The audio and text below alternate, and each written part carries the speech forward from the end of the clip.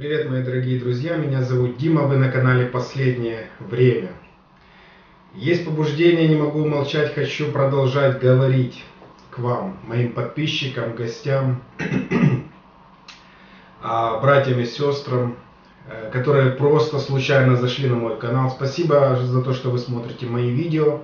Спасибо, что ставите лайки. Спасибо, что активно а, участвуете в обсуждении. Слава Богу. Я очень рад, что у нас а, разное а, общество, да, разные люди. В основном люди очень открытые, общительные. Так что, слава Богу, пусть у нас Господь благословит в этом обсуждении и в этом размышлении.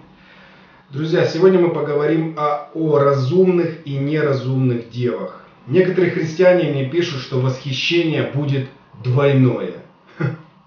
Или даже тройное, да, что вначале спасение мудрых дев, а потом спасение глупых дев, потом еще будет третье восхищение, когда а, будет э, евреев, как они говорят, избранные это евреи, что евреи будут восхищены а, третье восхищение, да, и многие, наверное, уже запутались и не понимают э, сути, да, как, как же все на самом деле будут, будет происходить.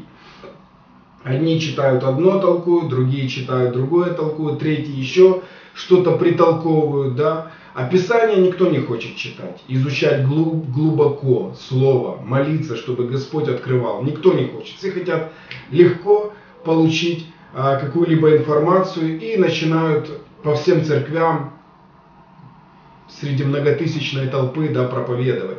Друзья, прежде чем вы проповедуете, будьте осторожны, убедитесь, что вы что вам Господь это открыл, это прежде всего, а во-вторых, убедитесь, что вы правильно учите, потому что если вы научите неправильно, ну Господь вас при встрече не похвалит, поверьте мне.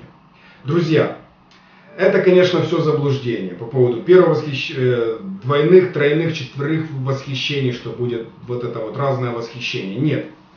А это заблуждение основано, как всегда, на вырванном месте из Писания, друзья, из контекста Писания. Нигде в Библии вы не найдете ни два, ни три восхищения, ни четыре восхищения. Восхищение будет только один раз. Я не устану об этом говорить, я уже когда-то это говорил очень много раз восхищение будет только один раз. А пришествие Иисуса Христа будет только один раз. Воскресение мертвых в конце дней будет только один раз, друзья. Поэтому не заблуждайтесь. Итак, сегодня мы поразмышляем о пяти разумных девах, умных, да, умных девах, которые думали, думали головой своей. И а, о неразумных или о глупых девах. Да, это притча которая была озвучена самим Иисусом Христом. Давайте мы вначале прочтем этот небольшой отрывок из Писания, а потом попытаемся его растолковать. Хорошо? Давайте открываем место в Писании и читаем, друзья. Тогда подобно будет Царство Небесное десяти девам, которые, взяв светильники свои, вышли навстречу жениху. Из них пять было мудрых и пять неразумных. Неразумные, взяв светильники свои, не взяли с собой масло. А мудрые же вместе со светильниками своими взяли масло в сосудах своих. То есть, понимаете ситуацию, да? А они взяли светильники, мудрые девы взяли масло, запаслись, а, а неразумные маслом не запаслись. Пятый стих. И как жених замедлил, то есть он не сразу пришел жених, то задремали все. Все уснули. Всем захотелось спать почему-то. Почему? Да потому что жених замедлил. Время идет, да, как многие говорят. Где пришествие? Где обетование, обещание Божье, что Господь придет? Где оно? И многие так как жених замедлил, заснули. Но в полночь раздался крик. Вот жених идет, вот жених идет, выходите навстречу ему. То есть это произошло вот так, во мгновение ока, нежданно, негаданно, вот так. Готов ты, не готов, это уже определит то, как ты жил до этой встречи с женихом. Тогда встали все девы, проснулись, и поправили светильники свои. Неразумные же сказали мудрым, дайте нам вашего масла, потому что светильники наши гаснут. А мудрые отвечали, чтобы не случилось недостатка и у нас, и у вас, пойдите лучше к продающим и купите себе. Когда же пошли они покупать, пришел жених, и готовые вошли с ним на брачный пир. Знаете, что такое брачный пир? Это когда жених встречается с невестой. Это и есть восхищение церкви, которое будет один раз.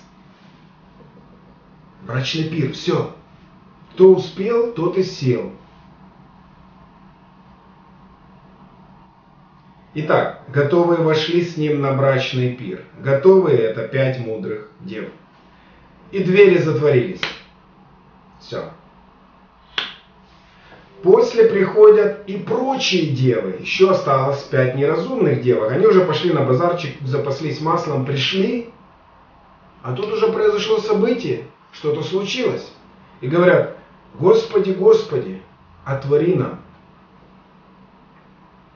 Он же сказал им в ответ, истинно говорю вам, не знаю вас. Представляете?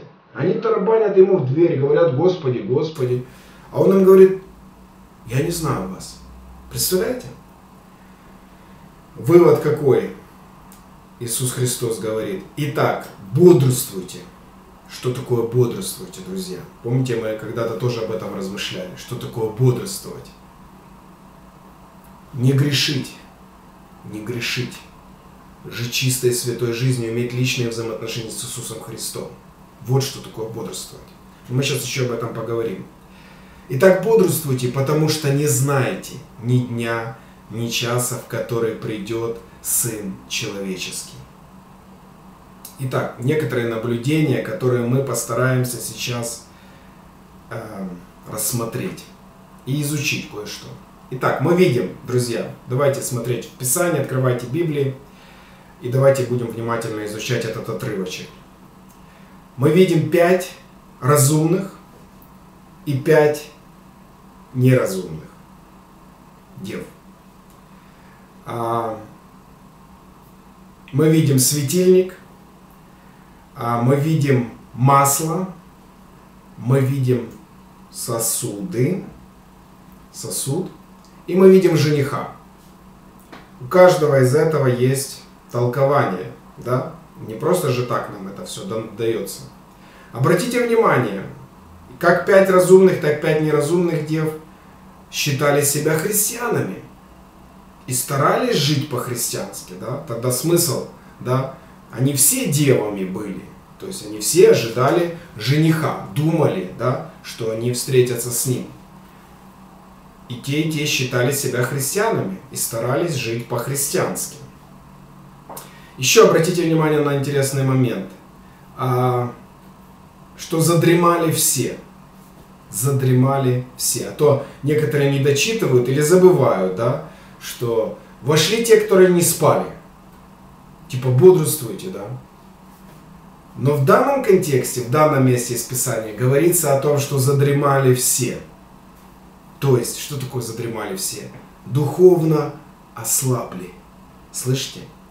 Духовно ослабли все. Итак, что же такое светильник? Открывайте место из Писания, читаем. Теперь будем толковать, согласно Писанию. Светильник. Что же это такое? Светильник, который взяли девы. Эти девушки, скажем так. Ну, на нашем языке мы говорим девушки, да. Не девы, а девушки, да. Или девы, еще девственницы, да, это, это девушки, которые еще ни разу не женились, не вых... Э, вернее, не выходили замуж. Итак, Слово Твое – светильник ноге моей и свет стезе моей. Слово Твое – светильник, друзья. Слово Твое – светильник. Итак, светильник, скорее всего, это Слово Божье. Это Писание, которое мы должны изучать с утра до вечера каждый день. Да не отходит сия книга закона от уст твоих, но поучайся в ней день и ночь, день и ночь, дабы в точности исполнять то, что там написано. Слышите? То, что говорит Писание. Итак, светильник это Слово Божье. Сосуд. Что такое сосуд? Читаем. Писание открывает нам и отвечает на все эти вопросы. Я забыт в сердцах, как мертвый, я как сосуд разбитый. Под сосудом можно понимать сердце и жизнь самого человека. Сердце и жизнь человека. Вот сосуд. Еще апостол Павел писал, но сокровище сие, веру в Иисуса Христа, да, Духа Святого, который поселился в нас – мы носим в глиняных сосудах. В глиняных сосудах. Помните, а, у нас есть горшечник, Бог, а мы из глина в руках Его. Это все мы берем из Ветхого Завета, потому что больше нет, неоткуда брать.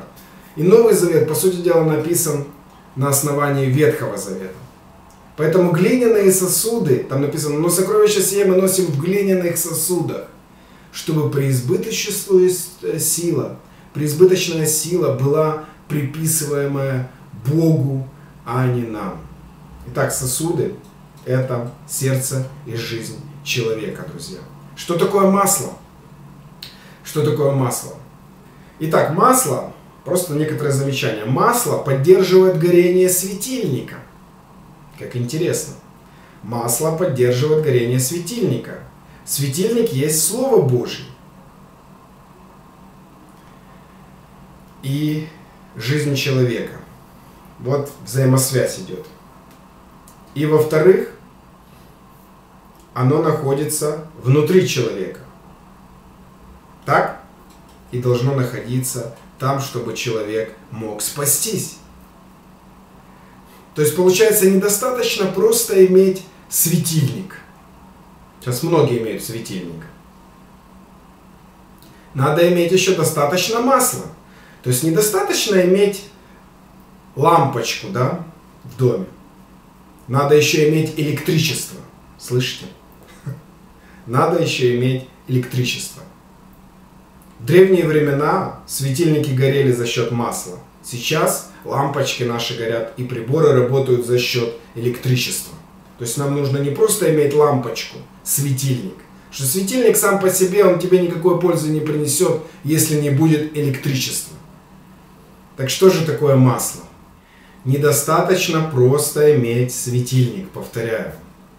Надо еще иметь достаточно масла. Электричество для лампочки. Лампочка не загорится без электричества. Никак. В Библии у слова масло есть также синоним. Это слово елей. Знаете, да, знакомы с таким термином? Елей. Елей изготовляется из маслин. Взаимосвязь, да? Что же это может быть? Вы уже догадались? Что же это за масло такое? Итак, масло или елей – это Святой Дух Божий, друзья. Это Святой Дух Божий, который живет в сердце человека. Читаем. Впрочем, помазание, которое вы получили от Него, в вас пребывает. И вы не имеете нужды, чтобы кто учил вас, но как само себе сие помазание учит вас всему, и оно истина и не ложно. То, чему оно научило вас, в том пребывайте.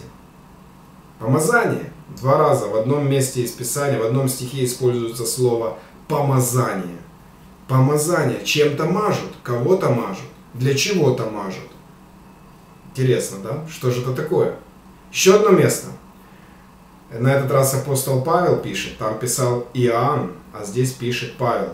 Утверждающий же нас с вами во Христе и помазавший нас есть Бог, который запечатлел нас и дал нам залог Духа в сердца наши. Помазание, помазавший. Речь идет о масле. Маслом же мажут, правильно?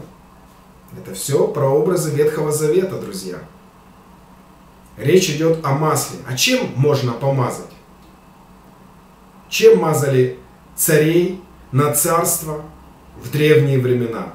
Почитайте Ветхий Завет. Итак, масло, друзья, это прообраз Духа Святого, который живет в сердце верующего в Иисуса Христа человека. Но жених, как растолковать, из жениха вы уже сами можете, правда?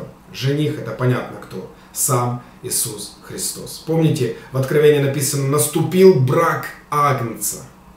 Агнец это Иисус Христос, ягненок, который был заклан за все человечество, за спасение всех людей, не только евреев. Итак, Агнец это Иисус Христос. Брак Агнца, брак жениха и невесты. Жених это Иисус Христос, невеста это верующий в Иисуса Христа или же а, церковь Иисуса Христа. Это все одно и то же, это синонимы. Итак, теперь давайте посмотрим на некоторые факты. Я надеюсь, вам интересно было до сего момента, и Бог вам много чего открывает.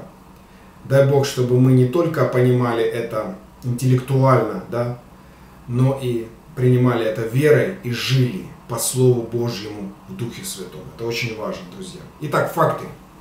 Первый факт, который согласно этого места из Писания, которое мы прочитали о десяти девах, да, Господь придет только один раз, не два и не три. Не два и не три. Они начали тарабанить, помните, в двери. Господи, Господи, отвори нам. Господь сказал, все, все, никакого второго восхищения и никакого третьего восхищения. Восхищение будет только один раз. Восхищение церкви будет только один раз, не два и не три раза. Это первый факт, который нам нужно уяснить. Господь придет только один раз.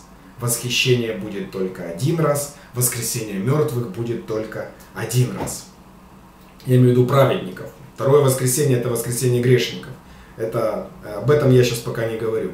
Мы сейчас говорим о праведниках, тех, которые хотят встретиться с Господом Иисусом Христом, правда? А внешние неверующие грешники, с ними у Господа другой разговор.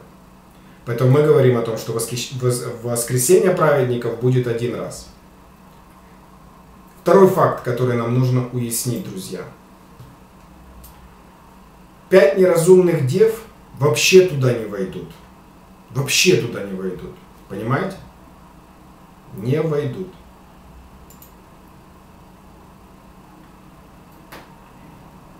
Прочитайте еще раз это место из Писания. После приходят и прочие девы, еще пять неразумных, глупых дев, да, и говорят, Господи, Господи, отвори нам, и он же сказал им в ответ, истинно говорю вам, не знаю вас, не знаю вас, все, для них уже все, двери спасения закрыты. Хотя они считали себя христианами. И думали, что спасутся. Третий факт. Господь Иисус сказал им, что Он э, никогда не знал их. Это при, при, перекликается с другим местом из Писания. Давайте зачитаем, чтобы вы понимали, в подтверждении. Не всякий, говорящий мне, Господи, Господи, войдет в Царство Небесное, но исполняющий волю Отца Моего Небесного. Помните, что такое воля? Воля есть Его освящение наше.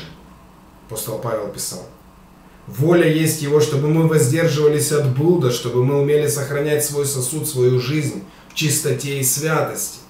Вот воля Небесного Отца, а не то, что вы там себе придумали.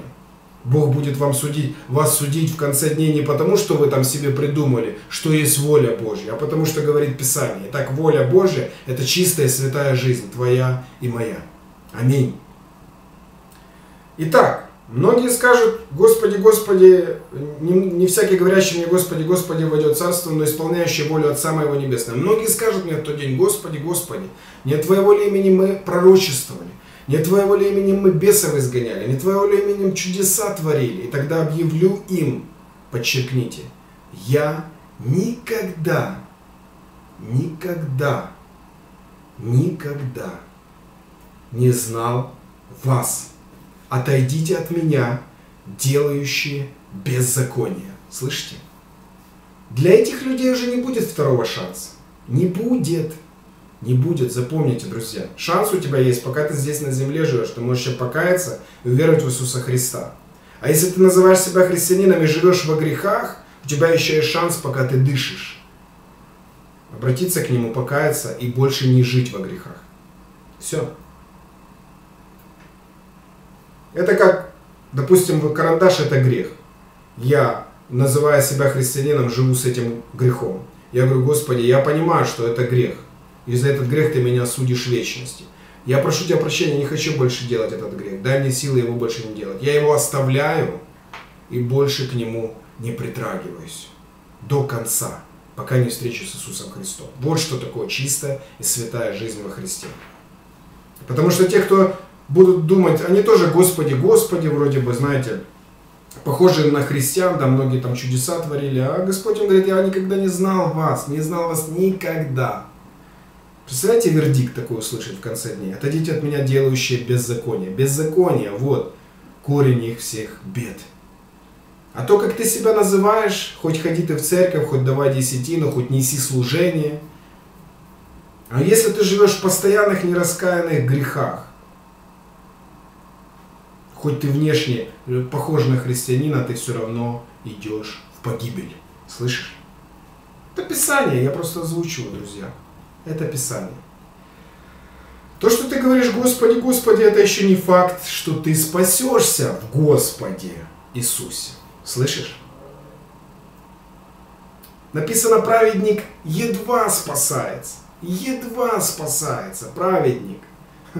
А что же говорить о нечестивом и грешном? Где он явится? Так говорит Писание. И то, что ты делаешь там великие служения, на сцене там тебя показывают, там, или по телевизору там тебя показывают, да, ты изгоняешь бесов, да, вроде бы, якобы, пророчествуешь, там, великие там, толкаешь речи, и люди там все в шоке от того, что ты говоришь. Чудеса творишь, понимаешь? Реальные чудеса. И мы знаем, что уже пророк будет творить чудеса в конце дней, так что и огонь сводить с неба на, на землю. Ну и что? А толку? Это еще не факт, что ты наследуешь Царство Божие. Понимаешь, это не лакмусовая бумажка спасения твоего. Это не, это не показатель того, что ты, идешь, что ты пойдешь на небо. А что может быть гарантией? Тебе, наверное, сразу стало интересно, что же может быть гарантией, что я точно попаду на небо? Вот я считаю себя христианином. Я верю в Иисуса Христа. Что может быть гарантией, что я точно попаду на небо? Я тебе скажу, согласно Писанию твоя чистая и святая жизнь во Христе. Слышишь? Это осознание того, что Бог простил все твои грехи, что Дух Святой живет в твоем сердце, что сам Бог Духом Святым внутри тебя свидетельствует твоему Духу, что ты Божье дитя. Слышишь? свидетельствует Дух Святой прямо сейчас. Он должен свидетельствовать. Вот мне прямо сейчас свидетельствует. А тебе свидетельствует, что ты Божье дитя. Я делаю паузу. Спроси прямо сейчас у Бога, Господь, а я твое дитя? И получишь ответ. Незамедлительный ответ. А если ты никакого ответа не слышишь, вдруг ты в опасном положении. В вечности неизвестно, куда ты попадешь в вечности будет тьма и скрежет зубов.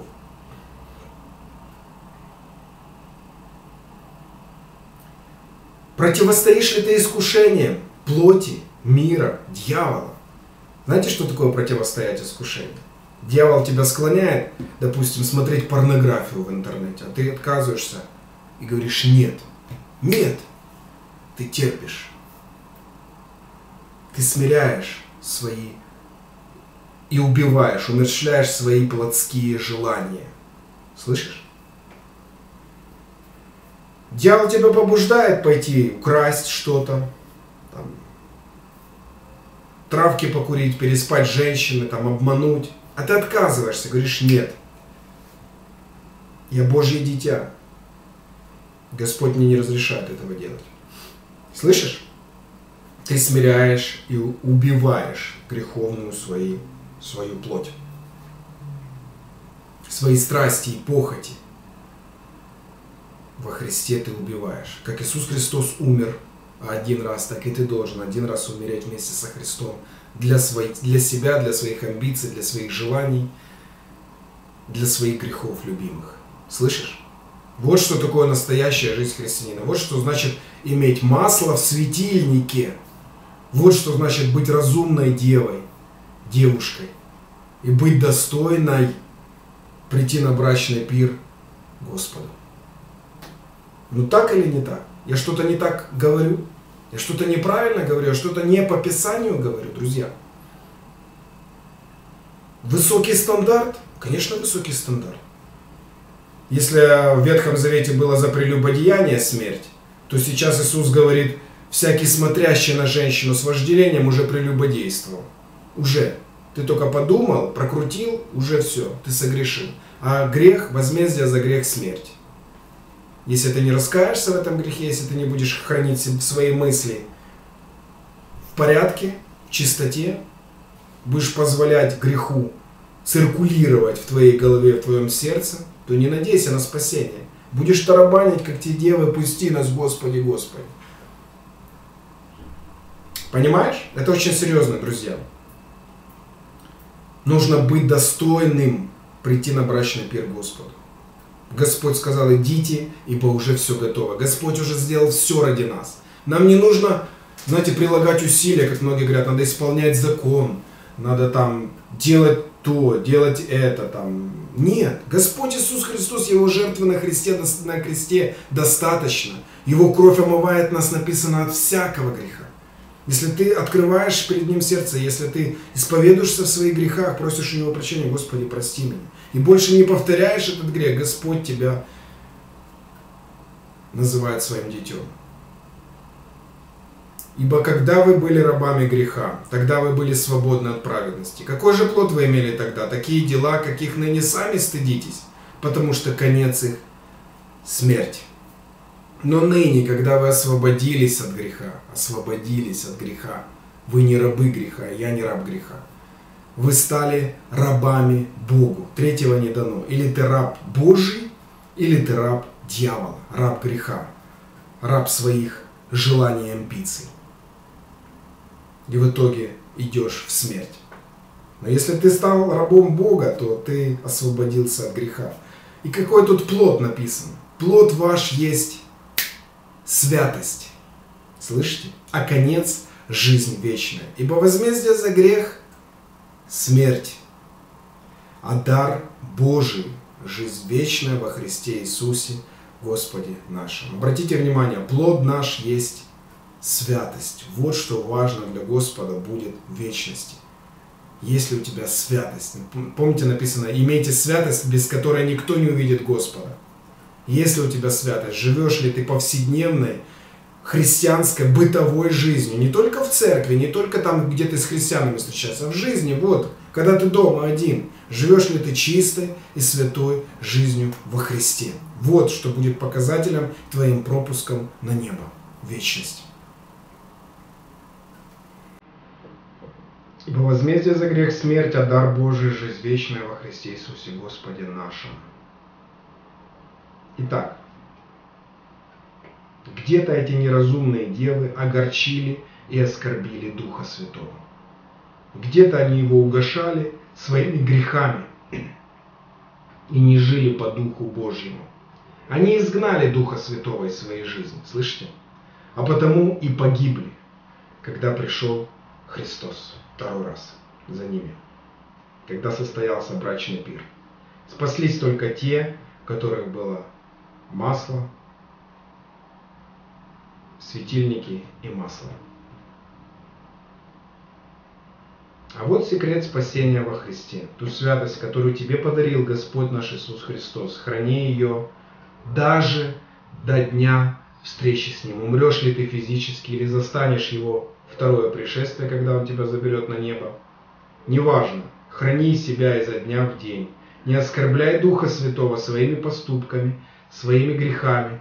Живи по Слову Божьему изо дня в день. И будешь достойный встречи с Ним. Аминь. До следующей встречи, друзья.